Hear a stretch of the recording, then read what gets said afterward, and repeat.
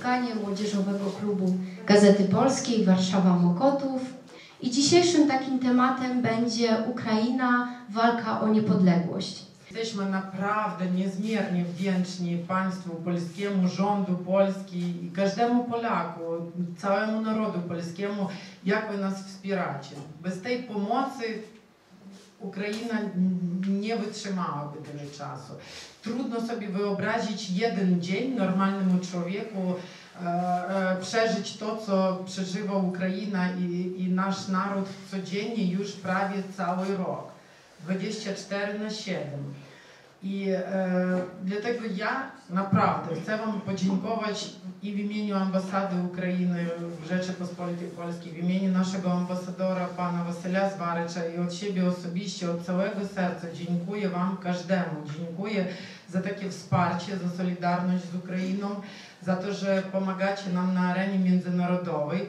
E, Dla mnie osobiście Polska jest liderem po prostu number one na całym świecie tej pomocy. Dziękuję Wam serdecznie.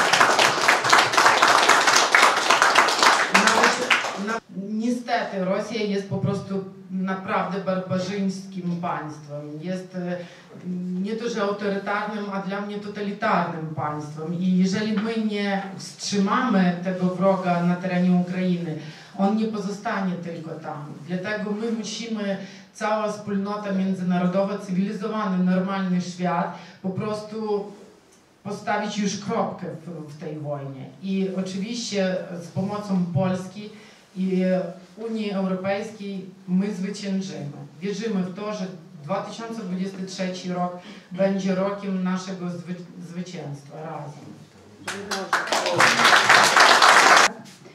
A y, myślę, że mm, Zachód zachowuje się w taki sposób y, no, dwuznaczny, e, nie do końca taki, jakbyśmy chcieli, z, z różnych względów. Niemcy interesy, tak? Tani gaz, oni, y, y, pani Angela Merkel, no jeszcze zresztą wcześniejsi też przywódcy, stawiali na współpracę gospodarczą z Rosją. Z jednej strony, no bo tani gaz dawał im przewagę tak, gospodarczą, Dzięki temu mogli po prostu też w Unii Europejskiej stać się takim dominantem, takim liderem gospodarczym e, i gospodarką konkurencyjną wobec innych, ale z drugiej strony też Niemcy no, e, w jakiś sposób mają czy taki sentyment do Rosji, czy jakąś taką pewną naiwnością się też okazują, prawda? Bo czy Niemcy, czy też inne kraje zachodnie, im się tak wydawało przez lata, że y, z Rosji można uczynić normalny, demokratyczny kraj. Będziemy tak pracowali nad nimi, będziemy z nimi współpracowali, będziemy im tak coraz więcej prawda, dawali różnych możliwości, to oni to wykorzystają dla dobra swojego narodu, swoich obywateli, po to, żeby ci obywatele żyli lepiej, żeby im się jakość życia prawda, poprawiała, żeby to jakaś tam no, taka inna trochę cywilizacja zapanowała. No i Rosja w końcu stanie się takim równoprawnym, partnerem, krajem w pełni demokratycznym. No to zupełnie naiwne myślenie. No przecież wielu ekspertów było i polityków, którzy mówili, że no, to się nie stanie.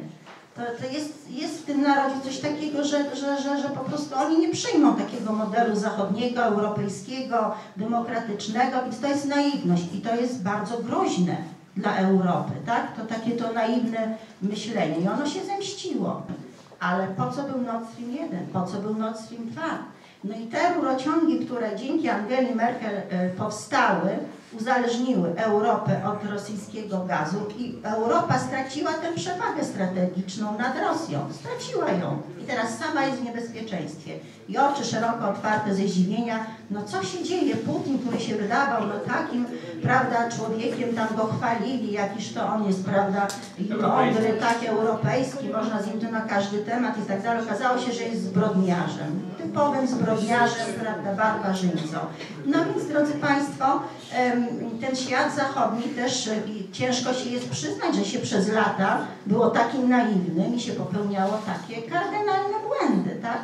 No ale myślę, że myślę, że gdzieś tam prawda, to inne myślenie zaczyna dojrzewać, chociaż bardzo powoli, bo gdyby ten świat zachodni wolny udzielił pomocy Ukrainie od razu, Zobaczcie, teraz praca w Parlamencie Europejskim, czy tam w Komisji nad dziewiątym pakietem sankcji. Bożeż kochany. A nie można było, tak jak Polska mówiła, tych sankcji raz porządnie No takie wrażenie, wiecie Państwo, y, takie wrażenie można odnieść, że te sankcje się tam wprowadza takimi etapami po to, żeby Rosja zdążyła sobie jakieś bypassy stworzyć, tak? No tak to Tak, wygląda. no tak to wygląda. No za parę miesięcy Wam tam wprowadzimy takie sankcje, no to oni już sobie gdzieś tam przez Chiny, przez coś tam sprawy pozałatwiają. I co nas te Wasze sankcje teraz obchodzą? No, to jest może takie zbyt ostre myślenie, no ale no, coś jest na rzeczy. No, mamy prawo w ten sposób też, też oceniać sytuację. I gdyby ta pomoc militarna od razu była taka zdecydowana, no ale to też jest tak wszystko dawkowane. I tutaj ja z panią radcą się zupełnie zgadzam, że no tu Polska jest ambasadorem tych ukraińskich spraw i gdyby nie polski premier, polski prezydent, którzy jeszcze przed, zanim wojna wybuchła, to już przecież jeździli za granicą, przekonywali, że trzeba Ukrainę wspierać, bo Ro- Rosja może zaatakować. A kiedy Rosja zaatakowała, to przecież nasi politycy czołowi, pan prezydent, pan premier, minister obrony, no apelowali o pomoc militarną, tak, bo my dajemy no właściwie wszystko, co możemy dać, tak, no ale inni mogą dać więcej, bo są bogatsi, bo, bo, bo, bo mają więcej takich zasobów, czy produkują, tak? No i to też tak dawkują po trochu, a damy, a nie damy, a Niemcy zachowują się skandalicznie. No to trzeba tak powiedzieć, no skandalicznie. Oni są winni też tej wojny, bo gdyby no nie te, nie te, nie te rury cholerne, które, przepraszam, że tak mówię, no położyli na, na, na dnie Bałtyku, gdyby nie to uzależnienie się od rosyjskiego gazu, które pozwoliło Putinowi szantażować Europę, to przecież też, by, też Rosja być może, nie mając tych miliardów euro za gaz, ten, y, który sprzedawała Niemcom, może by nie zaatakowała, bo nie miałaby zasobów. A to dla nas może być zaskakujące. Jak z ludźmi się rozmawia, jak się rozmawia w szkole e, z młodzieżą, to często jest zaskoczenie, że Polska kiedyś była największym państwem Europy. Tak, Rzeczpospolita e, obojga narodów była, była naj, największym terytorialnie państwem Europy. I Rosja z drugiej strony, drugie imperium.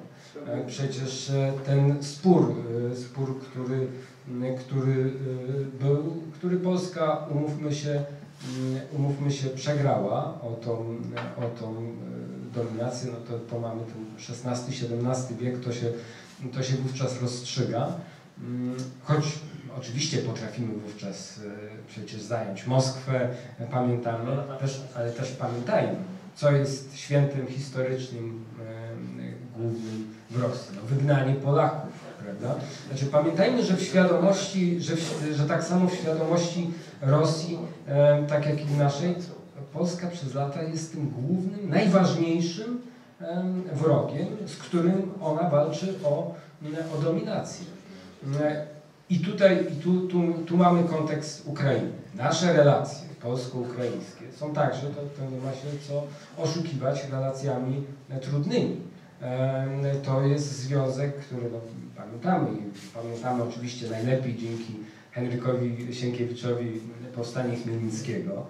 E, To różne spojrzenie, które, które, które jest, no, pa, pamiętamy e, te, te najnowsze czasy jak, jak e, Wołyń mm, i, i to, to, te dramatyczne wydarzenia, ale w tym wszystkim to jest też, jeżeli miałbym wskazywać na pewne szanse, e, które się wiążą z tymi tragicznymi wydarzeniami, to jest to, że dziś Ukraina buduje swoich nowych, wspaniałych bohaterów i to jest też szansa na to, by na lata zbudować także dzięki temu, że Polska e, tak stoi także po stronie Ukrainy, szansę na zupełnie inne e, relacje polsko-ukraińskie e, na, na wieki, mam nadzieję. Bo to jest, to jest kluczowe. I, Szanowni Państwo, to marzenie prezydenta, także Lecha Kaczyńskiego, które, które był e, dzisiaj, no, choć w tak tragicznych e, okolicznościach, ale mm, marzenie pod względem tej, tej naszej współpracy mm, się, się rzeczywiście mm, w jakimś stopniu, myślę, spełnia. Szanowni Państwo, a za to Europa, no, tam jest to, co, tam jest zupełnie inne spojrzenie mamy. Dla Europy, choćby to pamię, Niemcy pamiętają, się dziwimy, ale pruską. Pamiętamy pakt Ribbentrop-Mołotow, wszyscy, no, no, czwarty rozbiór Polski, pamiętamy wcześniejsze trzy e, rozbiory Polski. E, A więc oni są mm, także przez szereg lat bliskimi współpracownikami. To zawsze Polska jest w tym wypadku ofiarą, ale i też w jakimś sensie przeszkodą czy wrogiem. Oni by chcieli i częściowo jedni drudzy przez te lata, żeby Polska no dobrze może być jakimś kadłubkowym państwem, prawda, tak jak to może wyobrażał sobie car Aleksander, yy, tak, nadwiślańskim państewkiem, królestwem polskim, proszę bardzo, yy, które jeszcze jest yy, kontrolowane i pod protektoratem najlepiej yy, Moskwy. No nie, no na to my się, na to my się nigdy nie godziliśmy i stąd też tak, e, taka nasza tragiczna także historia, ale też historia, z której możemy być dumni. My Polacy nie zhańbiliśmy się paktem z Hitlerem, choć niektórzy e, do dziś historycy mówią, jak to by dobrze było, gdybyśmy się tam z nim sprzymierzyli. E, my Polacy walczyliśmy, e, walczyliśmy także z Rosją, bo to ona wbiła nam nóż w plecy. To u nas, no my pamiętamy no przecież wojnę polsko-bolszewicką i te wszystkie wydarzenia. I to jest coś, co nas radykalnie odróżnia. A Putin kwestie gospodarcze. Pamiętajmy, Putin nawet pracę dyplomową e, pisał o tym, w jaki sposób wykorzystać zasoby energetyczne e, do tego, by, by uczynić z nich wpływy polityczne. To jest człowiek e, bezwzględny i to musimy mieć tego doskonałą świadomość. I o tym, i o tym także świętej pamięci Lech Kaczyński wielokrotnie mówił, a Zachód, no coś tam, no a nie tam, lepiej, lepiej, e, przecież to normalny kraj, róbmy, róbmy z nimi biznes. Nie, oni myślą zupełnie inaczej, w zupełnie inny sposób. To wsparcie Polski jest na e, kilku etapach i na kilku głównych płaszczyznach. No to jest to wsparcie ekonomiczne, tyle co możemy dać, a dajemy myślę bardzo dużo, skoro w liczbach bezwzględnych jesteśmy na trzecim miejscu na świecie, a bynajmniej chociażbym bardzo chciał, jeszcze trzecią gospodarką świata nie jesteśmy to jest to wsparcie wojskowe. No, ja, to nie są rzeczy, o których e, nie, nie uważam, nie wiem, czy to jest sens mówić nie, o każdej liczbie. Ja wiem, jakie to jest wsparcie, bo wszystkie te dokumenty także przeze mnie przechodzą w rządzie. No i mo mogę powiedzieć, że to jest wsparcie no, naprawdę gigantyczne i chciałbym, żeby każdy kraj do tego rękę przyłożył w taki sam sposób. To jest to wsparcie dyplomatyczne, nagłaśniania sprawy wstrząsania sumieniami. No pamiętajmy, w Hiszpanii gdzieś tam, my się dziwimy, że w Ameryce Łacińskiej kraje jakieś nie chcą pomagać. Dajmy sobie spokój. No, to, to, to możemy zrozumieć, tak? Ale Europę, o Europę i oczywiście Sojusz Północnoatlantycki, Stany Zjednoczone, o tą świadomość tutaj musimy walczyć. To jest, to jest bezwzględnie konieczne. I Polska tak jak stała, nie pierwszego dnia, ja przypomnę, że przed y, y, tym atakiem Rosji na Ukrainę w 2014 roku, wprawdzie nie pojechał wówczas premier ówczesny, nie pojechał ówczesny minister spraw zagranicznych, ale był ówczesny lider opozycji Jarosław Kaczyński z, y, z mieszkańcami Kijowa obok Witalija Kliczko przemawiał na wiecu i zapewniał o wsparciu Polaków, a więc na pewno nasz obóz zawsze będzie wspierał Ukrainę, bo to jest walka, tak jak słusznie zatytułowaliście to spotkanie, e, o wolną Europę. Przygotowania do wojny zaczęły się już e, w zasadzie e, w, w, w połowie roku poprzedzającego, kiedy Rosjanie zaczęli czyścić Europę z gazu. E, I, i w zasadzie wtedy, wtedy już my tutaj w Polsce już mówiliśmy o tym, że coś się dzieje. Nawet premier Mateusz Morawiecki apelował do Unii Europejskiej, żeby podjąć działania przeciwko monopolowi Gazpromu. To jeszcze w grudniu 2021 roku Franz Timmermans y, pojechał y, do Bułgarii i wszystkich przekonywał, że Gazprom to normalna firma, no, no biznes y, robi i to wcale, wcale nie ich polityka wpłynęła na, na to, że ceny gazu wzrosły dziesięciokrotnie dla, dla odbiorców w Europie Zachodniej. No i jak sobie pomyślimy w ten sposób, no to e, skoro Franz Timmermans, będąc nadal w tej komisji, on wtedy realizował politykę rosyjską, no to, to, to dojdziemy do wniosku, że tak naprawdę Rosjanie byli bardzo dobrze przygotowani do, do tej wojny. E, mieli kupione, e, kupione, dziś wiemy, że mają kupioną elitę w dużej mierze europejską, przecież 300 milionów dolarów, jak ujawnił Departament Stanu e, USA, no trafiło jednak do, e, gdzieś w Europie do, do różnego rodzaju lobbystów, więc, więc to już wiemy, że, że można sobie że to widać, widać zresztą to po tym, po tym zachowaniu. E, Więc e, Rosjanie byli, e, mówię, podkreślę to, e, mam wrażenie, że jednej rzeczy e, nie skalkulowali do końca.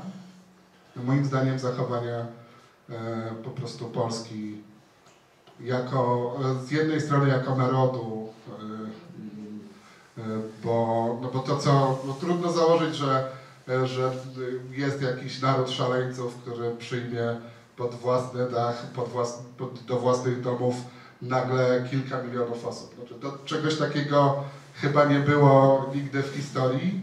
Wydaje mi się, że nikt nie robi takich kalkulacji, biorąc pod uwagę też ile, ile Rosję kosztowało kupowanie agentów wpływu, budowy, mm, siania zamętu w, między naszymi narodami, ile w to, jak, jak wielka inwestycja w to poszła. I mam wrażenie, że tego, że to nie, nie docenili, a z drugiej strony oczywiście mam wrażenie, że nie docenili polskiego rządu e, i tego, jak, jak on mocno wszedł w, w obronę interesów e, też Ukrainy.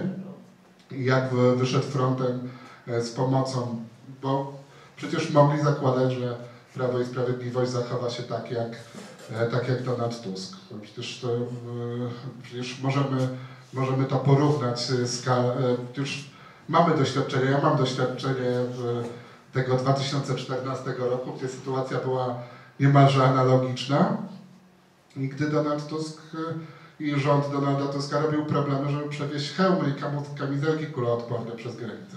Przecież tamten rząd to utrudniał. No ten e, zachował się dzięki, e, dzięki Bogu inaczej. I, i, I myślę, że to były te dwie, dwie kluczowe rzeczy, których, które, e, których nie doszacował, dzięki którym, które teraz okazują się kluczowe dla utrzymania Ukrainy, ale, ale wydaje mi się, że pytanie, zwa- zwalanie wszystkiego też na pewne szaleństwo, ideologię i tak dalej, wydaje mi się, że, e, że jest jakby niedocenianiem też, też przeciwnika, który, który ma jednak e, potężne, potężne zasoby i potężne zasoby budował w Europie Zachodniej i również w Polsce. Bardzo dziękujemy.